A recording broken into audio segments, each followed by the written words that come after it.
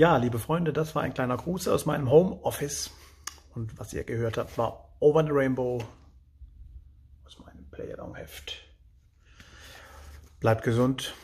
Bis bald. Live, hoffentlich.